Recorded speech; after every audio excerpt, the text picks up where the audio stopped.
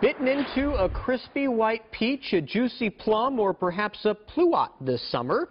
Well, the chances are that a unique family farm in Modesto was behind those in some way or another. Yeah, KCRA3's Linda Mumma shows us what the growers, famous for creating new fruit varieties, are up to, and the one crop they developed now growing in popularity.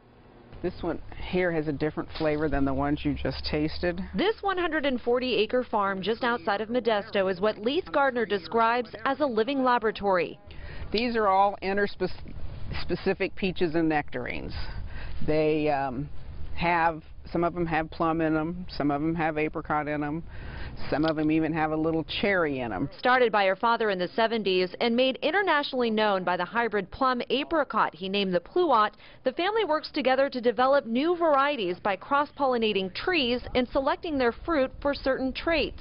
It's not really evident when you look at the fruit itself but a lot of times it's evident in the flavor or the amount of sugar it can produce or its storage ability. For example, the family crossed an almond with a peach to create what it calls the independence.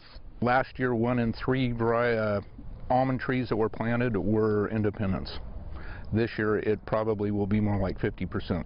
Grant Zaiger tells me the trees sold exclusively to growers in the nursery are sold out for the next four to five years. The reason? Everything is self-contained within one flower. If you get a little wind to blow, it pollinates itself. Eliminating the need for bees at a time colonies are collapsing. Bees used to be 15 to $20 a hive per pollination season. Now they're 140 to $170 per hive.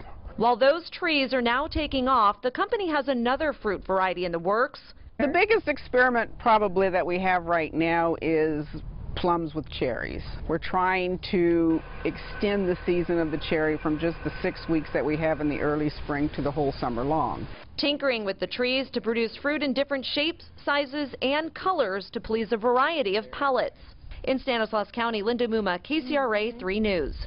Mm, tough assignment, huh? Despite the company's name, Zaiger Genetics doesn't splice genes or manipulate DNA to develop new plants. The family says it sometimes takes generations of cross-pollinating trees to make a bridge between two species.